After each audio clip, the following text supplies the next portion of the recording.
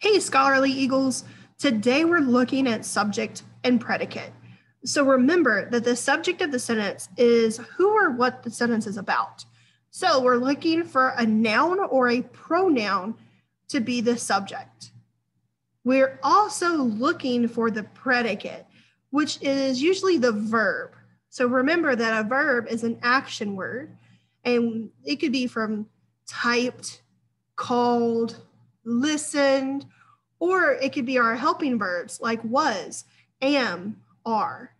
So we're looking for all types of things when we're looking at subject and predicate. And to be a complete sentence, you have to have both a subject and a predicate because we have to have the person or thing that this that the sentence is about and what the person or thing is doing. Okay? So let's take a gander or look down here at number 1. Now, the directions for this one says in each sentence below, you're going to underline the subject and circle the simple subject. Okay, so we're going to underline the subject. If I can get my pen to work. There we go. And then we're going to, we'll just do the same color. We're going to circle the simple subject.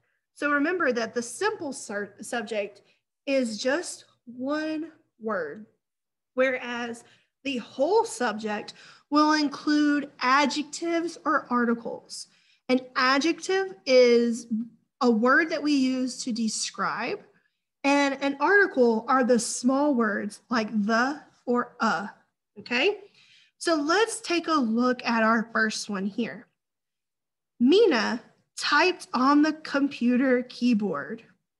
Okay, well, Mina is our subject and it's also our simple subject because there's no other words that describe her. So we're just going to do that. And to see if we're right, we're just going to look to see what Mina is doing and see if that takes up the rest of the sentence. Well, when I ask, what is Mina doing? The answer is she typed on the computer keyboard. Well, typed is the action because that's me typing. So I know that that's, that's where our subject stops. All right, let's take a look at number two.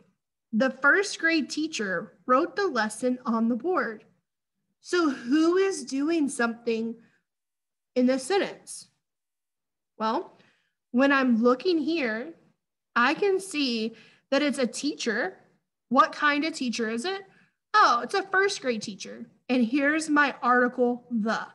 So I'm going to underline all of that, the first grade teacher, because that is our complete subject. It's telling me who and it's telling me an adjective about who it is. So it's telling me first grade. The first grade teacher, that means that that's the adjective and the article is there. So now we need the simple subject. What is one word that'll describe this person? Well, the, no, that doesn't describe. First, no, that's an adjective for sure. Grade, no, that's not telling me the person. Teacher, ah, there you go. So teacher it is. Scribble, scribble, scribble. There we go. Now, to check my work, let's see what the teacher did. The teacher wrote the lesson on the board. What did the teacher do? Wrote the lesson. So wrote is my verb.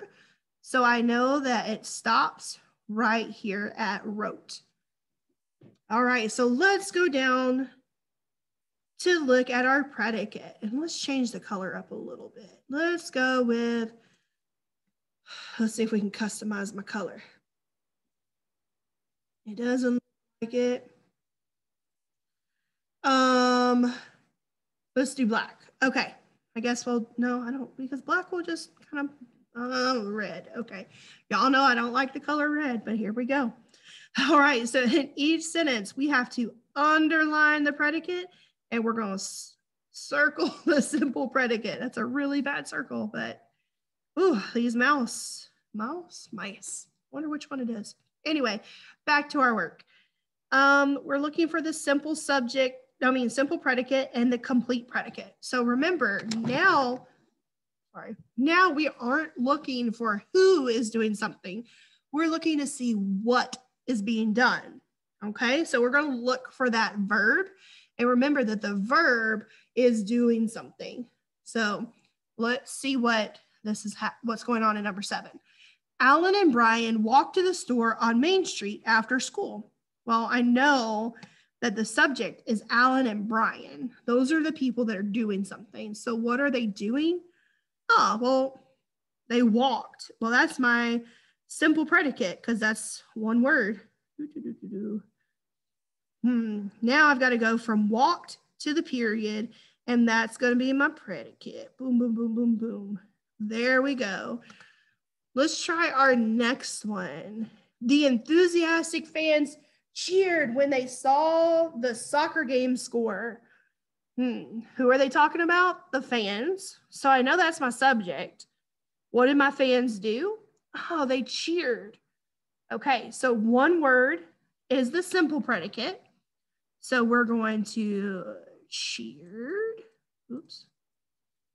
That's my simple predicate. And remember that your complete predicate is going to go from cheered, the verb, all the way to the end of the period. Because what did the fans do? They cheered when they saw the soccer game score. They didn't just cheer randomly, only when they saw the score of the game. All right, my friends. So now it's your turn. You're going to do numbers three, four, five, six, nine, 10, and 11 all on your own.